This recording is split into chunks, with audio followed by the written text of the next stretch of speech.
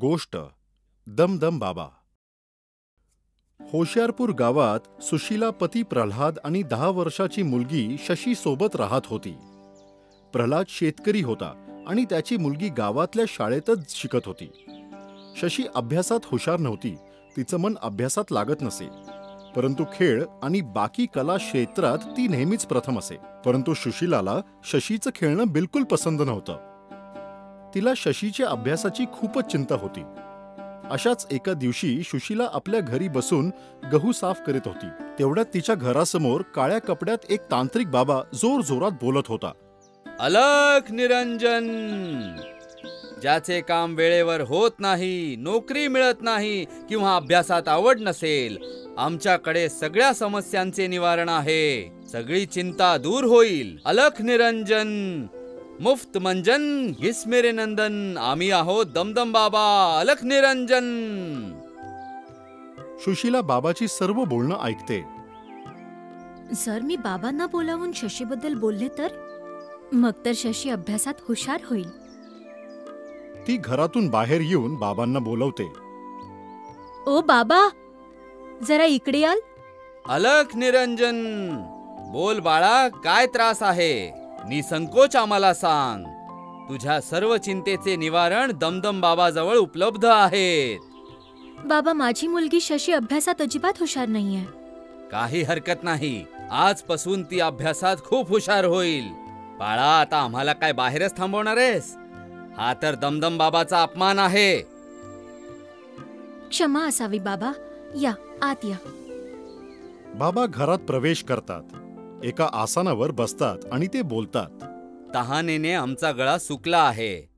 बाळा जरा पाणी देतेस का? गळ्यात जरा ओलावा असेल तर बाबाची वाणी सुद्धा चांगली बोलेल. अलख निरंजन! हो बाबा मी आत्ताच शीतल जल घेऊन येते. सुशीला पाणी आणण्यासाठी आत जाते. बाबा चोहो बाजूला नजर फिरवतो. सुशीला पाणी घेऊन येते. बाळा तुझ्या घरी भूतांचा वास आहे. त्यामुळे तुझी मुलगी अभ्यासात हुशार नाहीये आणि तुझं कोणतंच काम सफल होत नाही. बाबा काहीही करा. या घरातून भूत पळवण्याचा काही उपाय सांगा.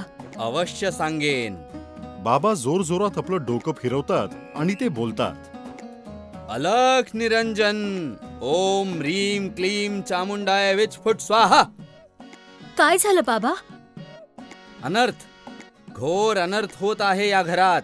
परंतु मी होऊ देणार नाही. कसला अनर्थ बाबा? काय वाईट घडणार आहे? बाळा तुझ्या घरी एक सोन्याचं कलंकित आभूषण आहे. त्यामुळेच हा अनर्थ होत आहे. पण असं कोणतंच आभूषण नाहीये माझ्याकडे. असंभव. तू लवकरात लवकर सर्व आभूषण माझ्यासमोर घेऊन ये. आम्ही पाहताच तुला सांगू की कोणतं आभूषण कलंकित आहे. त्यानंतर आम्ही मंत्र उच्चारून त्याला शुद्ध करू आणि मग तुझ्या सर्व समस्या दूर होतील. हो बाबाजी मी आत्ताच सगळी आभूषणं घेऊन येते. उशीर करू नकोस मुली लवकर घेऊन ये. सुशीला सर्व आभूषण बाबांच्या समोर ठेवते आणि लाल रंगाच्या पिशवीत तिचे दागिने आहेत. हे घ्या बाबा या पिशवीत सगळी आभूषणं आहेत. मुली ह्या पिशवीला उघड कारण आम्ही दागिन्यांना हात लावत नाही. सुशीला पिशवी उघडते. किमती दागिने पाहून बाबा मनातल्या मनात खूप आनंदी होतात. ते जोर जोरात मंत्र बोलू लागतात. ओम ह्रीम क्लीम चामुंडाय विच फुट स्वाहा. बाळा पाणी घेऊन ये. सुशीला पाणी घेऊन येते. बाबा पाणी घेऊन दोन तीन वेळा दागिन्यांवर शिंपडतात आणि बोलतात. मुली आभूषणाचे शुद्धीकरण झाले आहे. आता स्वतःच्या हाताने पिशवीला बांध आणि एक मातीचं छोटं भांड घेऊन ये. सुशीला पिशवी बांधून मातीचं भांड आणायला आत जाते. तेवढ्यात बाबा आपल्या झोळीतील तशीच लाल कलरची पिशवी काढून ठेवतात आणि आभूषणची खरी पिशवी आपल्या झोळीत टाकतात. अलख निरंजन! काम झालं आहे मुली. आता तुझ्या सर्व चिंता दूर झाल्या आहेत. सुशीला एक भांड घेऊन येते. मुली स्वतःच्या हाताने ह्या पिशवीला भांड्यात ठेव.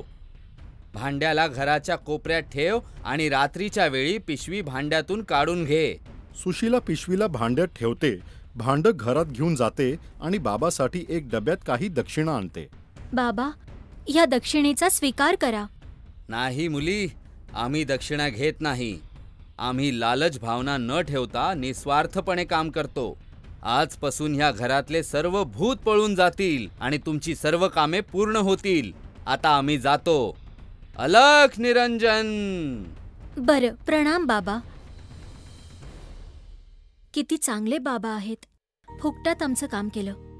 आता माझी मुलगी मन लावून अभ्यास करेल. इथे शशी आणि तिचे तीन मित्र सौरभ रिंकी आणि दिव्या शाळेतून घरी येत आहेत. शशीच्या हातात ट्रॉफी आहे. आज ती शाळेच्या धावण्याच्या शर्यतीत प्रथम आली आहे.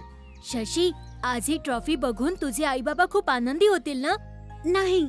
बाबांना आनंद वाटेल पण आई नाराज होईल. तिला माझं खेळणं अजिबात आवडत नाही.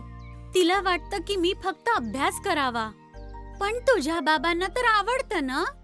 हो. मग तू काळजी नको करूस. बघशीलच एक दिवस खेळात तू खूप पुढे जाशील तेव्हा तुझ्या आईला खूप बरं वाटेल. बोलता बोलता शशीचं घर येतं. आणि ती बोलते उद्या शाळेला सुट्टी आहे. आपण सगळे उद्या फिरायला जाऊया. हो हो शशी आपल्या घरी येते. रात्रीचं वेळ. शशी आणि तिचे वडील जेवत आहेत. सुशीला गरम गरम भाकरी बनवून दोघांना खाऊ घालत आहे. अहो ऐकलं का? आज एक खूप चांगलं काम झालंय. आता शशी अभ्यासात तरबेज होईल. ते कसं? काही चमत्कार झाला आहे का? बाबा आई तर उगाच काळजी करत असते. आज एक दमदम बाबा आले होते. त्यांनी माझ्या कलंकित आभूषणाला शुद्ध करून घरातल्या भूतांना पळवून लावलं. काय? कुठे आहे ते आभूषण? घेऊन ये. सुशीला आतून मडकं घेऊन येते. प्रल्हाद पिशवी उघडतो तर त्यामध्ये दागिन्यांऐवजी दगड निघतात. अरे हे काय? अरे मी तर बर्बाद झाले. तुला त्या ढोंगी बाबाने लुटलं आहे. आता त्याला कुठे शोधायचं? तुम्ही दोघं दुखी नका हो. उद्या मी काहीतरी करते. तुझे दागिने परत आणेन आणि त्या ढोंगी बाबाला असा धडा शिकवेन की तो आयुष्यभर विसरणार नाही. सकाळी चारी मुलं तळ्यापाशी भेटतात. शशी त्या सर्वांना डमडम बाबाबद्दल सांगते. चारी मिळून काही योजना आखतात. गावाच्या बाहेर जाऊन त्या ढोंगी बाबाला शोधूया. असा तर खूप वेळ लागेल. काहीतरी दुसरं करूया. अरे हो माझी आजी सांगायची की पिंपळाच्या झाडाखाली बोलणारे घुबड महाराज राहतात. ते सगळ्यांची मदत करतात. चला आपण त्यांच्याकडे जाऊ. हो ही चांगली कल्पना आहे. चारी त्या झाडाजवळ येतात. घुबड महाराज आमची मदत करा. मला माहीत आहे बाळांनो तुम्हाला डमडम बाबांना भेटायचं आहे. तो तुझ्या आईचे दागिने घेऊन गेला आहे. हो यावेळी तो कुठे आहे? यावेळी तो जवळच्या शिवपुरी गावात लोकांना फसवत आहे. धन्यवाद घुबड महाराज. आम्ही जातो आणि त्या बाबांचं खरं रूप शिवपूरच्या लोकांना सांगतो. चौघे मुले शिवपुरी गावाकडे जातात. शिवपुरी गावात जाताच त्यांना डमडम बाबा भेटतो. बाबा आवाज देतात. अलख निरंजन! मुलांनी गावातल्या लोकांना सर्व गोष्ट सांगितली आहे. सर्व गावकरी एकत्र झाले आणि त्या बाबाला घेरतात. हा ढोंगी बाबा आहे. काल याने माझ्या आईचे सगळे दागिने चोरलेत. मारा मारा ह्याला मारा ढोंगी बाबा हाय चोर आहे हा मारा मारा ह्याला मारा मारा हो हो याला खूप मारा मला मारू नका मी दागिने परत करतो ढोंगी बाबा झोळातील दागिन्यांची पिशवी काढून शशीला देतो हे आहेत तुमचे दागिने मला मारू नका मुलांनो मला माफ करा शशी दागिन्यांची पिशवी आपल्या पिशवीमध्ये ठेवते चारी मुले गावकरांचे आभार मानून तिथून आपल्या घरी जातात मागून गावकरांचा आवाज येतो. मारा. मारा ह्याला मारा. मारा. शशी आपल्या मित्रांबरोबर घरी येते. तिचे आई वडील बसले आहेत. हे घे आई तुझे दागिने. अरे वा तू हे कसं केलंस बाळा? माझं बाळ तू तर आपल्या गावाचं नाव प्रसिद्ध केलंस. मी नाही बाबा आम्ही चौघांनी नाव प्रसिद्ध केलंय. मुलीला कधी कमी लेखू नका.